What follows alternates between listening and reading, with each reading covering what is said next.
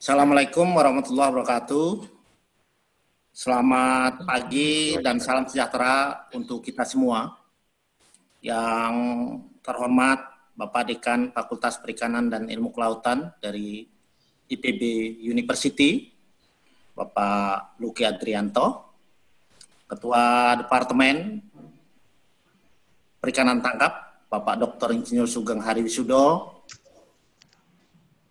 uh, narasumber Pak Mahmud, Direktur Pemasaran Kementerian Kelautan dan Perikanan, Profesor Indra Jaya, selaku dosen akademisi, uh, Pak James Ten, Asosiasi Pursen, Himpunan Nelayan Pursen, uh, Pak Agus, tadi memang betul manggilnya agak-agak nama susah kalau nama lengkapnya lebih baik lebih senang dengan panggilan Pak Black gitu. Uh, Ibu Tri, moderator dan seluruh peserta yang saya lihat sudah hadir 235 partisipan yang tidak bisa saya sebutkan satu persatu. Ada Pak Joko Lelono, ada Pak Agus Budiman, ada Pak Saud. Mohon maaf tidak bisa nyebut satu persatu nih teman-teman lama. Jadi terima kasih perkenan sudah hadir di ruangan kita untuk uh, berdiskusi sebagaimana disampaikan oleh Prof. Tri Wiji Nuraini tadi. Saya sedikit menyampaikan bahwa kita memang perlu melakukan langkah-langkah strategis saat dan pasca pandemi COVID-19. Perlu pendekatan-pendekatan yang extraordinary, sebagaimana disampaikan oleh Presiden. Hal ini kita pahami bahwa semua lembaga internasional memprediksi terjadi kelesuan ekonomi yang mengarah pada resesi global. UMKM, usaha mikro kecil menengah, Indonesia sebagai penyangga utama ekonomi Indonesia perlu mendapatkan perhatian yang serius. Yang pada sesi ini kita akan fokus mengurai bagaimana sektor usaha perikanan tangkap bisa survive dan menghasilkan kesejahteraan bagi nelayan dan stakeholder. 211 negara telah terdampak COVID dengan data kematian mencapai lebih 75 ribu. Untuk mengangkat bisnis perikanan tangkap, ini perlu kerja koordinasi antar lembaga dan kementerian. Setidaknya mencakup ketahanan pangan lokal dan nasional, memastikan bahwa proses produksi berjalan. Yang ketiga, tindakan untuk memastikan bahwa supply memenuhi sinkron dan dengan demand.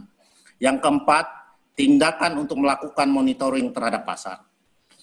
Jadi kalau kategori nelayan kecil berdasarkan undang-undang itu 10 GT ke bawah. Kalau hari ini kayaknya kita bahas yang menengah ke atas, yang data terakhir tadi malam saya cari, dapatkan izin dari pusat itu ada 5.310 izin kapal.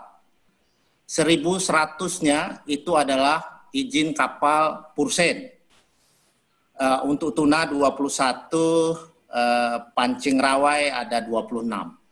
Dari 5.300 tadi menghasilkan satu uh, penerimaan negara, PNBP, yaitu kurang lebih 521 miliar. Ya, e, kalau di kategori bisa rata-rata bisa satu miliar berarti satu kapal. E, di situ ada kategori kapal penangkap, ada kapal kategori kapal pengangkut, kemudian ada kategori e, kapal pengangkut dan e, kapal penangkap. E, saya ingin sampaikan yang pertama, sembari kita membawa transformasi yang disampaikan oleh Pak Dekan tadi, kita harus terus melanjutkan. Kita harus bersama-sama akademisi, teman-teman pelaku usaha, teman-teman di pemerintahan bersama-sama. Uh, tahun 2016 kita sudah melakukan ukur ulang kapal. Ukur ulang kapal ini bagian dari transformasi tahap awal. Tahun 2017-2018 teman-teman pelaku usaha sudah menyampaikan tentang data kapalnya. Nah ini memang ada batasan konstrin-konstrinnya yang mengakibatkan akhirnya para pelaku usaha menempuh jalur yang sederhana. Katakanlah ada batasan kapal yang 200 GT. 200 GT Ibu Yopi, masuk akal nggak kalau kemudian kapasitas palkanya sendiri 250 ton? Ya kan? Kalau dulu tahap awal 2016 itu kita ukur ulang ini Pak Black, Pak Jim, itu 7 GT ternyata akhirnya jadi 60 gross ton. Kemudian uh, tahun 2017-2018 sudah dibenahi ini Pak Dekan, sudah mendekati 70 gross ton. Tapi karena ada batasan GT tadi, ketika kita ringnya mendekati angka 200 atau 150 itu agak tanda kutip perlu kita bersama-sama para peneliti, para pelaku usaha bareng-bareng. Uh, benar nggak sih uh, ini? Kenapa? Dengan perbaikan ini saja, dengan perbaikan ini saja, maka negara akan mendapatkan nilai tambah dari penerimaan negara itu 100%, yaitu 521 miliar. Maka kalau ini kita benahi, itu kurang lebih akan mendapatkan penerimaan negara bisa mencapai satu triliun. Dalam rangka itu, perlu juga KKP, pemerintah melakukan pendataan cold storage dan seterusnya, penyuluh melakukan pendataan segala macamnya untuk kaitan dengan polisi-polisi yang ada. Setelah kita menghitung penerimaan negara, penerimaan negara naik, itu ada satu yang menurut saya kesempatan yang luar biasa, mempertimbangkan bahwa akan ada gelombang tenaga kerja di kelompok di kota kembali ke kampung akibat PHK atau pabrik tidak berproduksi, perikanan tangkap dapat memberikan lapangan kerja.